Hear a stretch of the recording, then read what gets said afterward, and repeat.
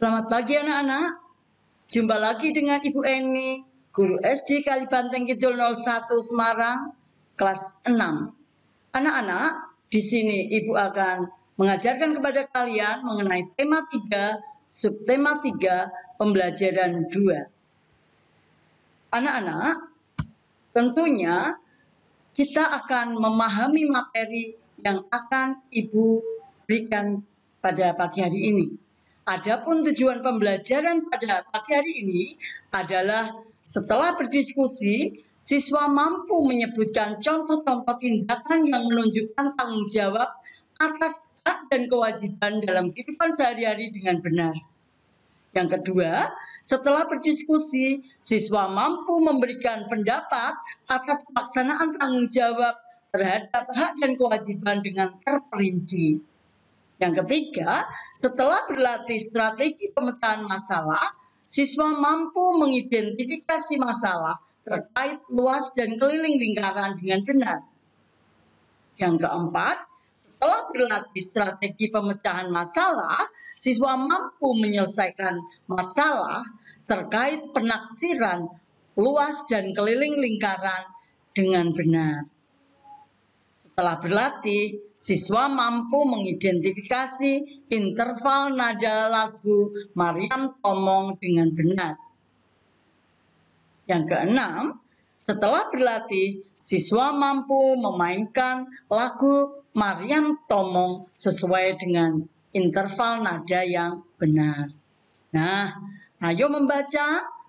Anak-anak, di sini tentunya kalian tahu Ya, pastinya kamu pernah mendengarkan radio bukan? Ayo, kita cari tahu bagaimana radio ditemukan dengan membaca kisah di bawah ini. Bacalah teks berikut dengan teliti ya. Ibu beri waktu untuk membaca satu menit dari sekarang. Anak-anak, di sini Guglielmo Marconi, seorang penemu radio, kamu bisa lihat bagaimana dia uh, beliau uh, menciptakan radio. Radio yang bisa kalian lihat di sini, ya. Di radio antik zaman dulu, ya. Nah, anak-anak coba diskusikan, ya Pernahkah kamu mendengarkan radio? Apa yang biasanya kamu dengarkan melalui radio? Lani suka sekali mendengarkan berbagai lagu dari stasiun radio. Nah, dengan demikian, apa yang sudah kalian baca tadi, nanti kalian uh, utarakan di situ. Berdasarkan teks yang sudah kalian baca tadi, kalian bisa menjawab pertanyaan pertanyaan yang ada di buku tema tadi.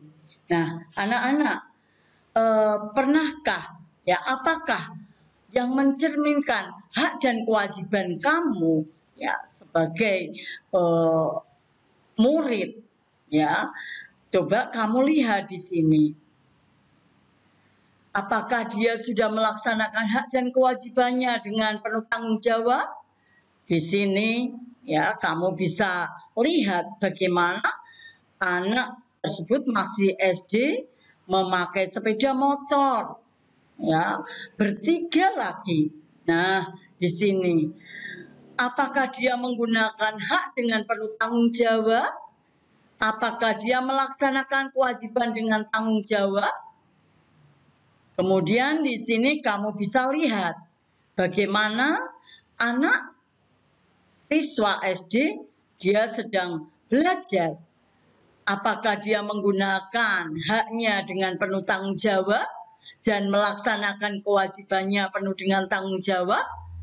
Menurutmu, mengapa kita harus melaksanakan hak dan kewajiban dengan penuh tanggung jawab? Apa yang akan terjadi jika kita tidak melaksanakannya? Nah, anak-anak, latihan ya Tahukah kamu mengapa tombol radio berbentuk lingkaran? Apa yang terjadi jika bentuknya bukan lingkaran? Ayo kita pelajari lebih lanjut ya tentang lingkaran. Pada pertemuan sebelumnya, kamu sudah belajar tentang luas dan keliling lingkaran. Sekarang kita akan berlatih soal-soal tentang lingkaran. Sebuah lapangan berbentuk lingkaran memiliki keliling 88 meter. Tentukan luas ling, eh, lapangan tersebut. Nah, anak-anak, berarti di sini yang kamu kerjakan adalah mencari diameternya terlebih dahulu ya.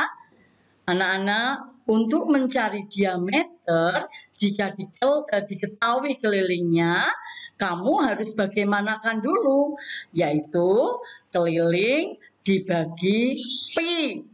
Ya, keliling dibagi pi. Nah, kalau sesudah kalian cari, ya sesudah kalian cari diameternya, baru kamu mencari luas lapangan. Nah, untuk mencari luas lapangan, berarti kalian harus cari dulu jari-jarinya ya. Jari-jarinya berapa? Kalau sudah diketahui diameternya, berarti untuk mencari jari-jari, yaitu diameter dibagi dua. Begitu ya? Nah, anak-anak, kalau kalian tadi uh, sudah belajar mengenai uh, luas dan keliling lingkaran dan penerapannya dalam kehidupan sehari-hari, coba kalian kerjakan untuk uh, buku tema 3, subtema 3 pembelajaran 2 pada pelajaran matematika yang sudah kalian pelajari ya. Nah, itulah anak-anak uh, coba nanti kalian berdiskusi dengan orang tuamu untuk menyelesaikan ya menyelesaikan uh, matematika tadi. Anak-anak di sini uh, coba kalian berlatihlah kembali untuk memainkan lagu Maryam Tomong dengan menggunakan alat musik. Perhatikan partitur lagu tersebut ya.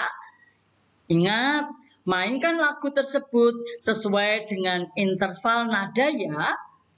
Berlatihlah dalam kelompokmu, mintalah pendapat kepada orang tuamu, kepada kakakmu, atau kepada saudaramu tentang caramu memainkan lagunya. Nah, anak-anak, setelah kita belajar tentang uh, pelajaran hari ini, apa yang telah kamu pelajari hari ini? Ya, apakah penemuan radio membawa manfaat bagi kita semua? Sikap apa yang akan dapat kamu contoh dari Guglielmo Marconi? Itulah anak-anak dari Bu Eni. Semoga bermanfaat bagi kita semua ya. Tetap semangat. Ingat, kalian tetap sehat.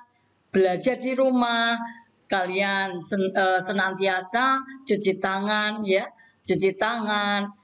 Ingat tetap di rumah, tetap berkreasi. Ayo kalian belajar ya. Jangan menyerah. Selamat pagi. Salam sejahtera bagi kita semua.